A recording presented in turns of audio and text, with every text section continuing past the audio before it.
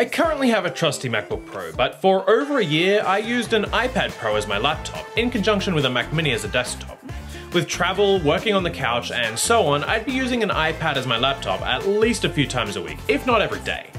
And honestly, it wasn't that hard.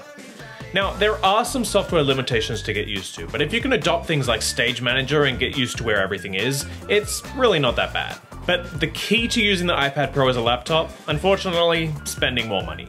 The Apple Magic Keyboard is expensive, but honestly, it verges on being worth it. The keys feel as great as modern MacBook keyboards do, and the touchpad in classic Apple style is flawless. Sure, it adds some weight to the package, but as an accessory, it made it so I could be just as productive on my iPad as I am on a Mac.